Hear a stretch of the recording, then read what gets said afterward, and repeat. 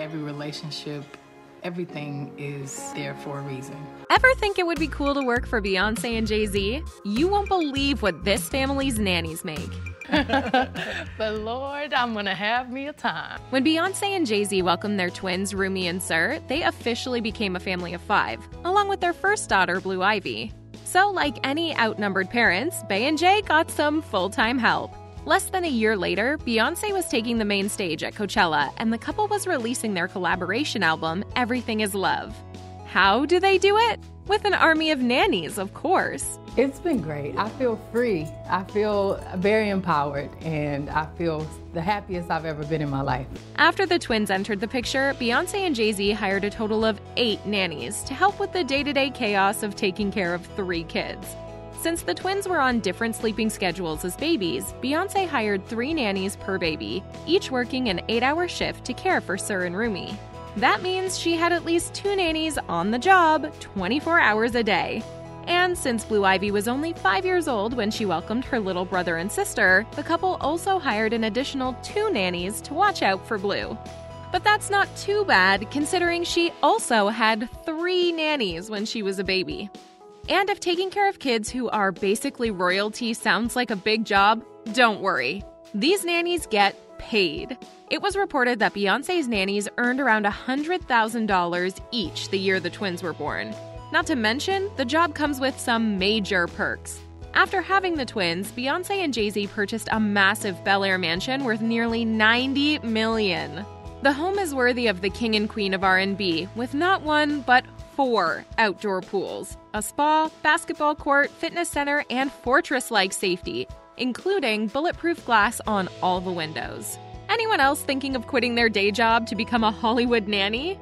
But as you may have guessed, being a nanny for Beyonce and Jay Z isn't all fun and games and six figure salaries. The famous couple has a special handbook full of rules that all of their staff, especially the nannies, have to read and sign before starting their position in the Carter household. Before the twins were born, it was called the Daily Program for Blue Ivy as per Mrs. Carter. But it's likely been renamed since. All of the Carter's nannies have to follow the rules laid out in the handbook. And no, it's not optional. Here are some of the strict rules the nannies have to abide by. For starters, the nannies have to entertain the kids and be sure not to bother Mama Bey while she's doing her workout routine. The singer meditates in the mornings and works out up to three times per day with things like stationary cycling, cardio, and weightlifting. A big part of the singer's job is to stay in top shape so she can continue to wow audiences with her signature onstage dance moves.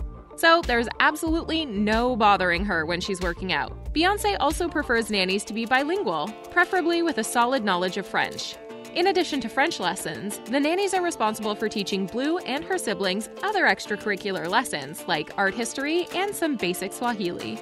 Beyonce apparently wants her kids to speak multiple languages, which is always a big asset for anyone who wants to travel and explore the world. The nannies hired to take care of Blue Ivy also have to be alright with spending full days shopping. Beyonce's oldest daughter is becoming a huge fashionista. One of her nannies revealed that Blue has an affinity for high end designers. Um, surprise, surprise. Blue likes Gucci, Lilly Pulitzer, and Dolce & Gabbana, and enjoyed picking out outfits for her younger siblings as they were growing up. Another important requirement for the family's nannies is that they have to make the journey to New Orleans on a regular basis to bring the kids to visit Bey's family. Beyonce has a historic home in the heart of New Orleans, and her sister Solange Knowles also has a home there in the French Quarter with her family.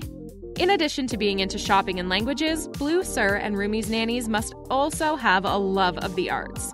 Beyonce and Jay Z are super into art collecting and appreciation of contemporary art.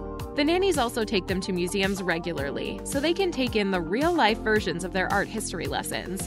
And it seems to be working. At just six years old, Blue purchased her first pieces of collector's art at an auction for $19,000.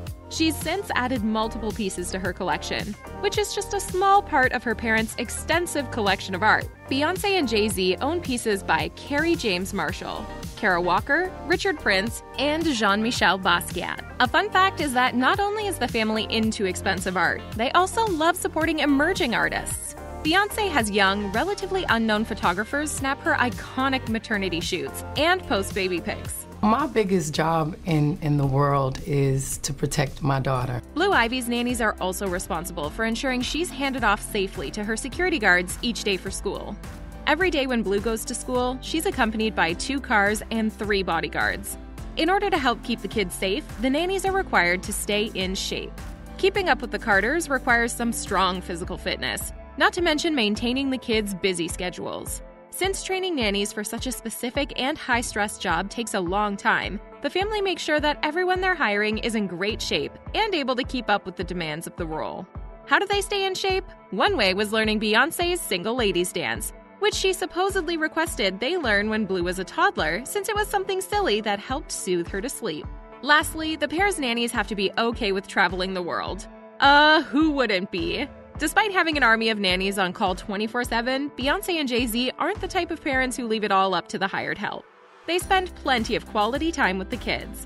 Even though the performer often travels for work, her three kids come along on tour and even hang out backstage. Of course, she also takes the nannies and personal assistants along to help out. On top of all those requirements for the nanny position, Beyonce's hired childcare helpers also have to make sure the three kids are adhering to the many rules set by their parents. Besides the perks of traveling with their parents on tour, Blue, Rumi, and Sir have some strict rules they have to follow. Probably even more than most normal kids. The kids have to live with full on security detail at all times. They have to practice their language lessons daily and they also have to attend extra classes in addition to their school schedules. Beyonce revealed that she hired her kids a confidence coach to help with their self esteem. And of course, there's all that pressure to live up to their parents' mega fortunes. She led me by example. I always admired her. Luckily, Beyonce has already trademarked her kids' names, so they can venture into either the music or fashion industry when they're older, or even start a line of fragrances, hair care, or cosmetics. There's no limit to what the Carter kids can do.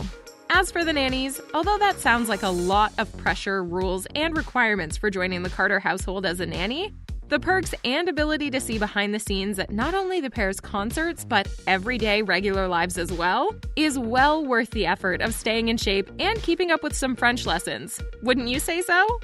The kids' nannies aren't the only ones who have to read and sign the handbook. The kids also have assistants and a personal chef. Yep, Blue has her own personal chef, which her parents say is necessary since she's described as a picky eater. Her chef once revealed that as a youngster, Blue's favorite dish was whole wheat pasta shaped like ballet dancers and pureed asparagus.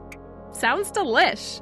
No matter how much help they accept with raising their kids, Beyonce said that she always makes it a priority to spend time with her three little ones. You know, my mother and I are so close, and I always prayed that I would have that type of relationship with my daughter.